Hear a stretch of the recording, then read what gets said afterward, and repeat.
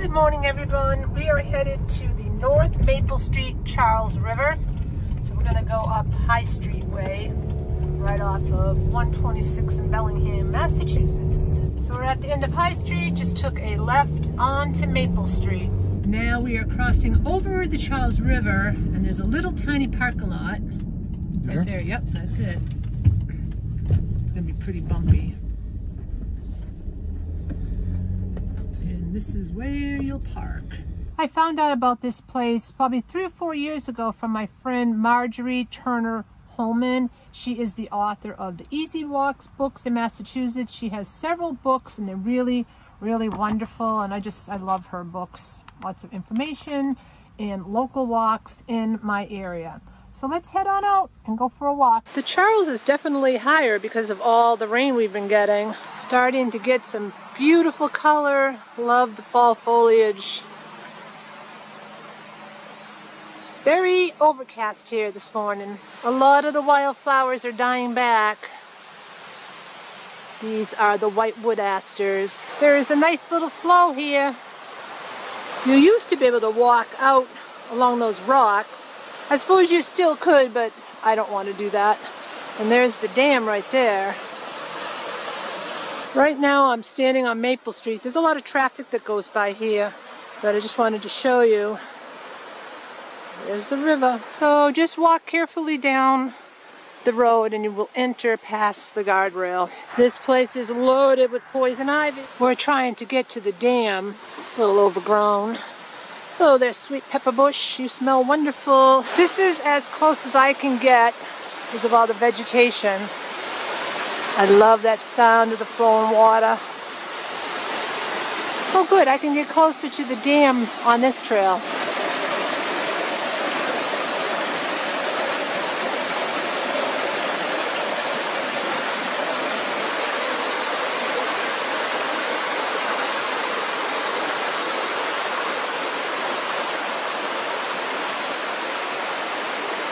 Here is the other side from across the street.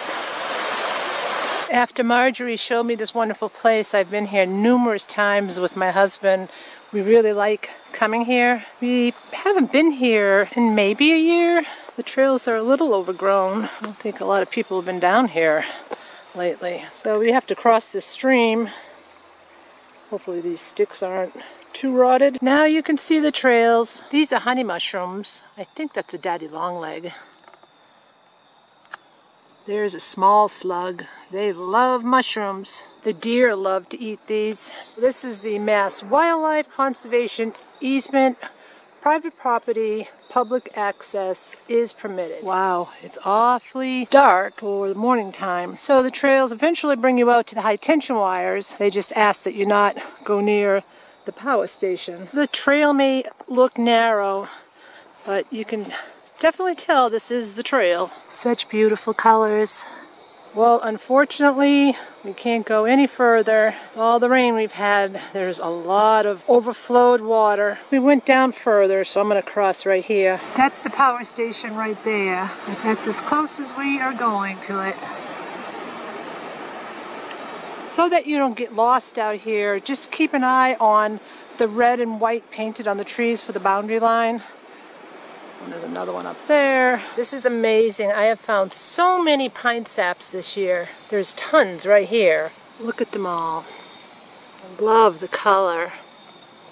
Now I'm really surprised to find the sheep laurel is blooming. It's this tiny little pink flower and there's a lot of the plants here but this is the only one that has the flowers on it. So we walked the woodlands over there to my right and that brought us back to the high tension wires and then we'll be re-entering over here on the left to head back out. We walked up the hill. I could get a look at the power station. Not very clear. So dark.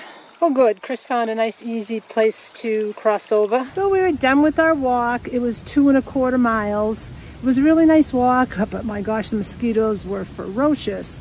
But I'm gonna put a link down below to Marjorie's books. If you're from Massachusetts, this is something you'd probably definitely want to look into getting.